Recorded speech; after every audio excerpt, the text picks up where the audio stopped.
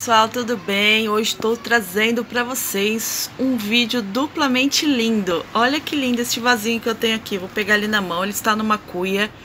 E olha que máximo que está estas plantas suculentas. Eu vou falar delas para vocês hoje. Acredito que essa daqui, principalmente, vocês já conhecem. E essa daqui também, que é uma planta bastante conhecida, apesar de nem todo mundo ter dela. É, de acordo com a região, algumas plantas são mais fáceis ou mais difíceis de serem encontradas. Então o vídeo de hoje é sobre essas duas lindezas, mas antes eu já quero fazer aquele pedido tradicional para vocês. Se vocês estão assistindo aí esse vídeo, curte esse tipo de tema, deixa um like aí no vídeo. Se você ainda não é inscrito, se inscreve no canal, não custa nada, gente, me ajuda bastante. Às vezes você está pensando como você pode ajudar alguém, ajuda dessa forma. Sempre que você assistir um vídeo de alguém que está começando ou de que já está um certo caminho tempo aí nesta jornada, ajuda incentivando, manda palavras de incentivo, deixa aquele like, ajuda as pessoas. Nós estamos num momento tão difícil hoje, né? Que qualquer palavra de incentivo, de carinho, você pode ter certeza que vai em cheio no coração da pessoa que está do outro lado. Muitas das vezes ela está precisando ouvir, né? Não estou dizendo só eu, estou dizendo todos os criadores de conteúdo. E vou pedir também para vocês, eu vou deixar um link aí embaixo de um curso é muito bacana de um dos maiores cultivadores de suculenta. É um curso online do Hotmart. Eu estou vendendo, é, estou afiliada desse curso. Vou deixar um link aí embaixo se vocês sentirem no coração de conhecer um pouco mais. Ele é bastante conhecido. O trabalho dele é muito bonito. Ele tem muitas suculentas lindas. Eu vou deixar o link aí se vocês quiserem fazer um curso com ele. Não é caro, é um curso baratinho e também vai me ajudar.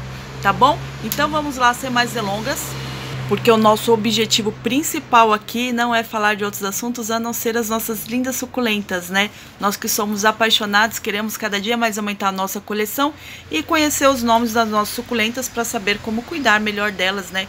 Qual a melhor forma de cultivo. Então essa primeira linda que eu estou trazendo aqui para vocês, ela tem um nome popular bastante conhecido e muito bonitinho. É a orelha de Shrek. Olha que graça!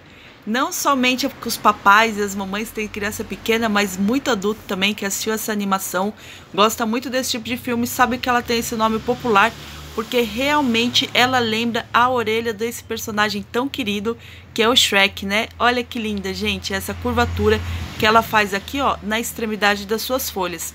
Todas as folhas dela possuem essa coloração mais avermelhada. Ela é uma suculenta, ela tem três tipos diferentes. E os três tipos diferentes são conhecidos como orelhas de Shrek, de Shrek mas elas têm algumas diferenças. Eu só tô com, esse, com essa daqui, que a minha eu acredito ser a Golum, né?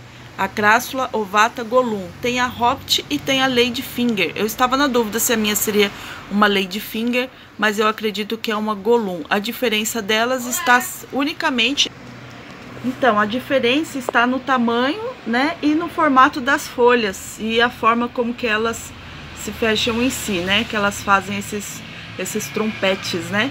Então eu só tenho essa espécie aqui agora, então não vai adiantar muito eu mostrar a diferença para vocês, que o legal é quando a gente tem as três espécies, uma do lado da outra, pra gente ver a diferença. Até eu mesmo estou na dúvida se essa minha seria a Lady Finger, mas eu acredito que não, porque eu tenho dela lá maior e os, e os trompetes dela são mais largos. E a Lady Finger, né, são, é, são tubulares desde o início, como esse daqui, olha, vem todo tubular, mas elas não costumam ter as folhas muito grandes. E essa daqui eu já tenho uma espécie, um, uma mudinha que eu fiz dela mesma, que os trompetes ficaram maior. Aqui também o pessoal chama de trompete, né? Ou o pessoal chama de dedo de ET também, tem diversos nomes.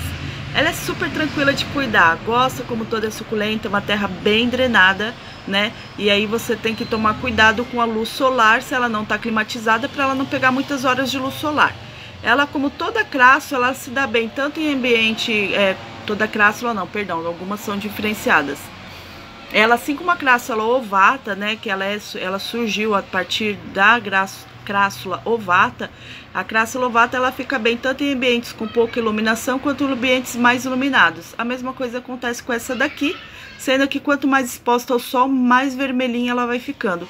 Essa daqui minha, ela tá no local onde ela pega pouca luz solar, mas ela pega aí pelo menos umas duas horas de luz solar por dia, e depois aquele ambiente é, que pega bastante claridade sem luz solar direta, mas bastante claridade. É, Porque ela está plantada junto dessa daqui, que é outra lindona que nós vamos falar agora, que é outra crássula, uma crássula muscosa. Olha só que linda, essas são as folhinhas delas, olha só.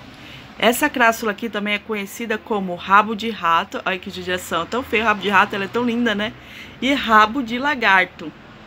Ela é uma planta muito linda, tem um aspecto bastante delicado, mas eu devo confessar para vocês que ela é bem tranquila de cuidar, viu, gente? Não se assuste com esse aspecto, com essas folhas minúsculas, mas ela é bem tranquilinha de cuidar, eu não tive nenhuma dificuldade com ela.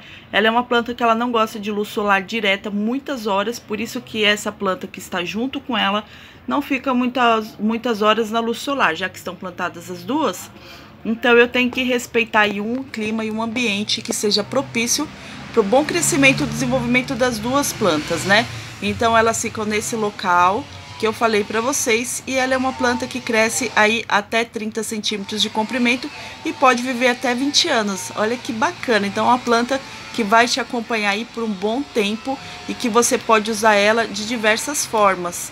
Ela é super tranquila de fazer muda. Eu vou mostrar para vocês como é que nós vamos fazer mudas dessas duas espécies para vocês multiplicar, fazer novos vasinhos, presentear, né? Vocês é, comporem eles em outros, com outros tipos de suculenta, testar elas em outros ambientes. E é sempre importante quando você tem uma, ter mais, ter mais de uma, né? Porque como diz, quem tem uma não tem nenhuma. Então eu vou explicar para vocês como é que a gente vai fazer as mudas delas. Com relação à rega, gente, é como toda suculenta. A terra tendo uma boa qualidade, uma boa drenagem, você pode molhar ela bem até escoar a água pelos orifícios de drenagem. Lembrando-se sempre que a rega é uma coisa muito particular de região para região. Então aqui na minha região eu posso regar aí de duas a três vezes, porque é uma região, apesar de eu estar no, em São Paulo, eu estou no interior de São Paulo e aqui o clima é um pouco mais quente e o clima não é úmido, é um clima seco também. Então eu posso molhar mais vezes que rapidamente essa terra ela já dá sinais de que está precisando. Um teste que você pode fazer é ver se a sua plantinha começa a ficar mais molinha, né? Normalmente as folhas da, da base, assim, elas começam a ficar um pouquinho mais molinha. Essas aqui começam a dar tipo uma deitadinha, não fica tão durinha assim, tá vendo que ela tá bem durinha, ó? Aí você tem sinal de que ela tá precisando de água. Mas você tendo um bom... É, você se habituando bastante aí com as plantinhas de vocês, automaticamente, instintivamente, vocês já vão começar a regar ela. A gente tem mais medo logo que elas chegam, né? Porque a gente tem, é, não tem ainda o hábito de cuidar delas. Então a dica que eu dou pra vocês é, coloca o dedo na terra, tá bem sequinho, aí vocês podem molhar, ok? Então vamos fazer mudinhas? É, eu vou pegar o... Vou pegar vasinhos pra gente plantar as estaquinhas, as mudinhas que nós vamos tirar. Só um minuto. Olha só que legal, isso daqui é uma sementeira, né? Ela originalmente ela veio com mudinhas de alface. E aí eu preenchi aqui apenas 10 é, orifícios com a terra, só para vocês verem, uma terra drenadinha. E aí nós vamos fazer a muda. Essa daqui, qualquer galinho que cai dela, gente, ela facilmente ela enraiza.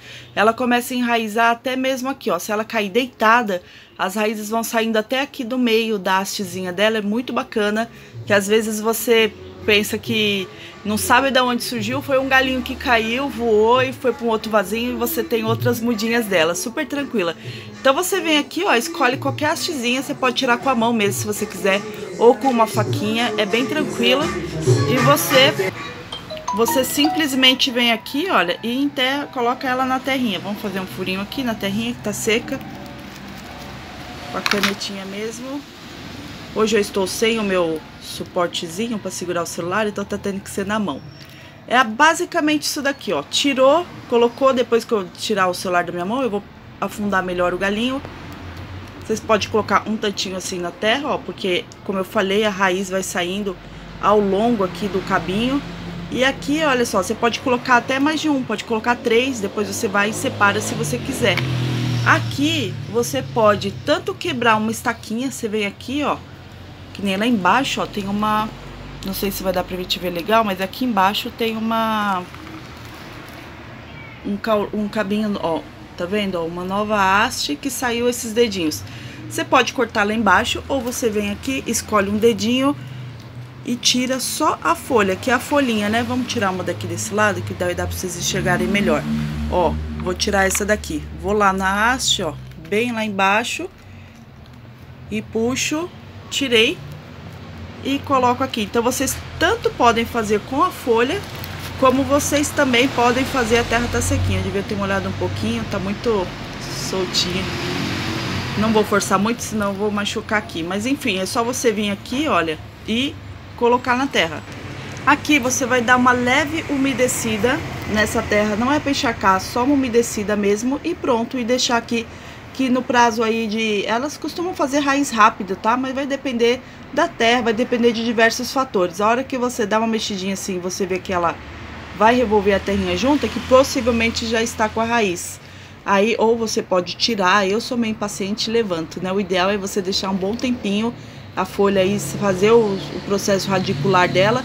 Depois, quando você tirar, vai vir com o, com o torrãozinho todinho, aí você vai e planta em outro vaso e assim você tem diversas mudinhas. Eu com uma mudinha, uma sementeirinha dessa aqui, ó, eu posso fazer diversas mudas como eu fiz lá em casa e tenho bastante mudas delas é, através desse processo que é bem simples e não tem mistério, tá bom? Então o vídeo é esse, eu vi algumas pessoas perguntando em outros vídeos que costumam secar que nem essa daqui, olha só, que dá uma secadinha, é normal, tá gente? Conforme o tronquinho vai ficando mais velhinho, olha só, ele vai perdendo as folhinhas, vai ficando um pouco mais lenhoso, mas aqui na extremidade vão nascendo novos galinhos. O que vocês têm que tomar cuidado é com a luz solar, porque a luz solar queima mesmo as folhinhas delas, aí pode ser um problema você vir a perder esta linda crássula muscosa. Gostou do vídeo? O vídeo é esse, espero que vocês tenham curtido, assim como eu curti de fazer esse vídeo pra vocês. Se vocês gostaram, já falei no início do vídeo, deixe um like, dá uma olhadinha lá nos, nos na descrição do vídeo, tem o um link lá do curso que eu estou filiada ali no Hotmart, me ajuda bastante. É uma divulgação sim de um curso de um cara que vocês vão conhecer, se vocês já não conhecem, que trabalha com suculentas, tem diversas variedades suculentas lindíssimas, tá bom? Um grande beijo para vocês, fiquem com Deus, até o próximo vídeo. Deus abençoe grandemente a vida de vocês. Tchau, tchau.